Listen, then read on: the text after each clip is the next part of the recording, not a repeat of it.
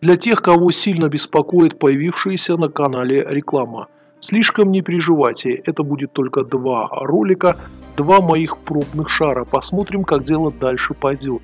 Я по-прежнему считаю, что лучше и достойнее зарабатывать на рекламе, чем выпрашивать донаты. Ну а сейчас к теме. Давайте вспомним высказывание вот этой странной девушки, как все пишут, семью классами образования, бывшая спортсменка Ольга Гладских.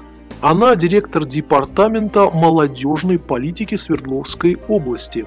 Скандал вокруг нее разразился, когда на встрече с детьми-волонтерами Чиновница высказалась о том, что государство молодежи ничего не должно, а их родителей никто не просил рожать. Соответственно, видеозапись появилась на YouTube. Позже она заявила, что ее слова были вырваны из контекста и что она, в общем-то, имела совсем другое в виду. Вот ее фраза. Клевета. Такой фразы в принципе не было, Контекст разговора нужно смотреть, а не выдергивать из контекста фразы. Я видео не видела, мне сложно комментировать, что тиражируют. Ну вот, если она не видела, давайте посмотрим еще раз, была ли вырвана фраза.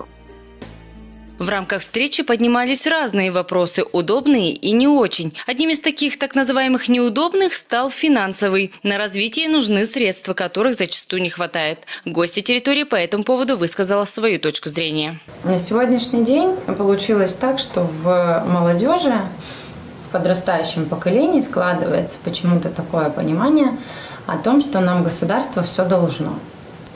Нет, вам государство вообще в принципе ничего не должно, а вам должны ваши родители. Ну, потому что они вас родили. Государство их не просило вас рожать. Как вы видите, девушка совершенно отмороженная, малообразованная. Понятное дело, если с детства занималась только тем, что садилась на шпагат и прыгала, и, естественно, именно за эти заслуги она попала в Госдуму. Вообще, Российская Госдума – это сборник каких-то странных людей, бывших спортсменов и актеров, не имеющих к политике ни малейшего отношения. Говорят, что она подруга Алины Кабаевой. Все может быть. Но очевидно, что девушка совершенно не понимает, что же такое вообще государство. И может быть, есть люди, которые на самом деле согласны с ней по поводу того, что государство никому ничего не должно. Давайте в простой форме разберемся, что же такое государство. Или, скажем так, может быть вы до этого не задумывались об этом.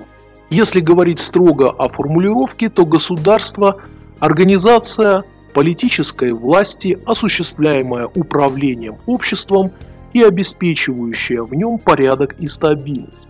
Государству соответствует определенная территория, суверенитет – широкая социальная база, монополия на легитимное насилие, право сбора налогов, публичный характер власти, наличие государственной символики. Государство обладает властью, но власть должна быть публична, то есть прозрачна. Символикой здесь тоже все понятно. Государство одно должно как-то отличаться от другого. У государства должна быть определенная территория и у государства существует договорная в обществе монополия на легитимное насилие.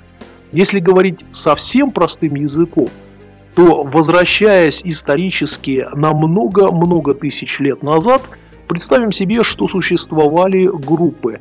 В основном это были земледельцы, кто возделывали свои поля. Каждый занимался своим делом и в случае нападения других – они были вынуждены бросать свою работу и защищать свою землю. В один прекрасный момент они поняли, что это невыгодно, что будет лучше, если каждый из них отдаст небольшую часть, они соберут своего рода дружину, и эта дружина будет их охранять. К тому же между земледельцами всегда были товарно-денежные отношения, и, конечно, возникали какие-то неприятные ситуации, и поэтому всегда, может быть, вождь этого племени или какие-то отдельные люди, уважаемые в племени люди, должны были решать, кто прав, кто виноват. Это были зачатки суда уже тогда. Они выбрали правителя, который позже стал называться монархом, У этого правителя образовалась своя армия или военные формирования, которые защищали эту территорию. Ну а затем те, кто нарушали правила этого конкретно сообщества, были наказаны через суд и должны были сидеть в тюрьме. Вот и вся форма существования государства на примитивном уровне. То, что мы сейчас имеем, это в принципе то же самое, просто в более цивилизованном формате. Постепенно государство стало чеканить свою монету, монополия на власть по-прежнему существовала в виде договора между вот этими самыми крестьянами и монархом.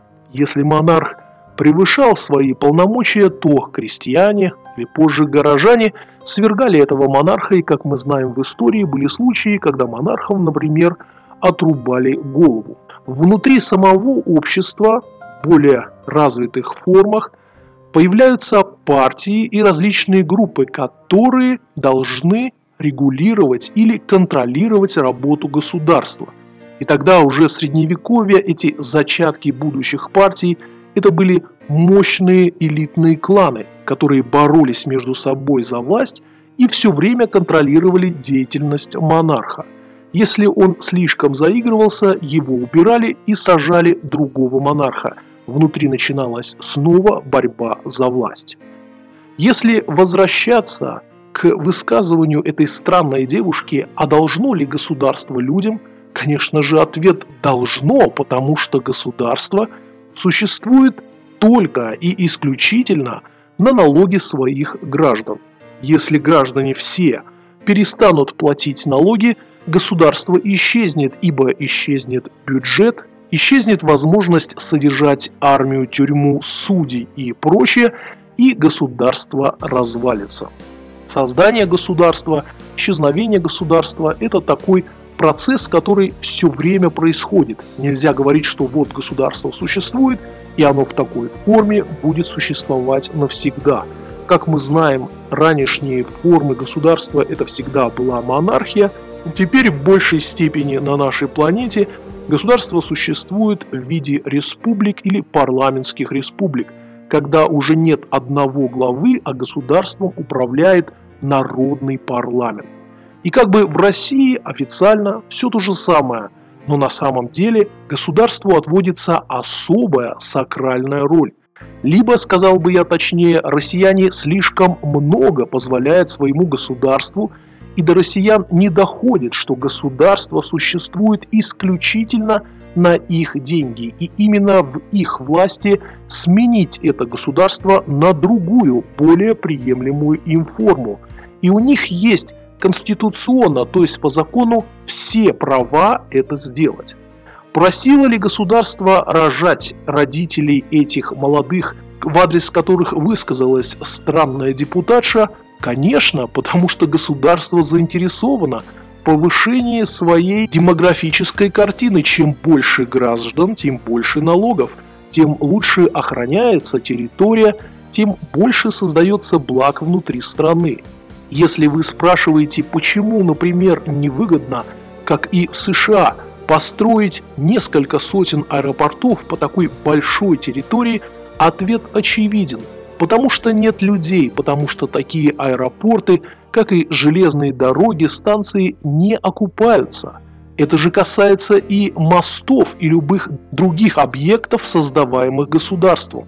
Ну и к чему я, собственно говоря, все это говорил? К тому, что после высказывания Ольги Гладских ее нахождение в Государственной Думе, как и в Комитете по вопросам молодежи, было поставлено под вопрос до недавнего момента. Губернатор Свердловской области Евгений Куйвашев после внимательного рассмотрения ее дела он оставил Ольгу Гладских на должности директора Департамента молодежной политики.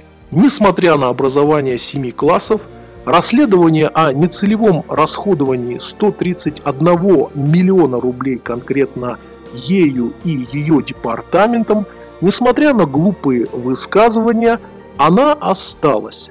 Вот такие дела. Государство нагло плюет на своих граждан, даже когда они в открытую заявляют, что мнение граждан их не интересует, и Ольга Гладских которая должна была бы по сути защищать интересы именно этого народа, кто направил ее в этот народный парламент, нагло оскорбляет этот народ и, по всей видимости, вообще не понимает, о чем она говорит. Я вот так сижу у губернатора. После недельного забоя я проиграла выборы. Я бухала дома, никуда не выходила. И мне звонит приемная губернатора и говорит, вас губернатор ждет через два часа, вас может приехать? Конечно, да. Я как бы не могла сказать нет. Я приезжаю. В джинсах такая, рубашка. Он сидит, это 24 сентября, и говорит, слушай, ну Леня что-то не занимается молодежной политикой. Я говорю, да нихуя себе, я в курсе. Я хочу разделить, создать орган. Ольга Вячеславовна, вы готовы возглавить? У меня варианта два. Либо сказать либо да, либо нет. Если нет, идти нахуй. Если да, то ну У меня вариантов нет. Я говорю, да. Мне 27 лет. Что такое 27 и орган исполнительного? Даже понятия не имею, что такое бюджет. Я вообще ничего не понимаю. Понятия не имею, что такое бюджет. Я вообще ничего не понимаю.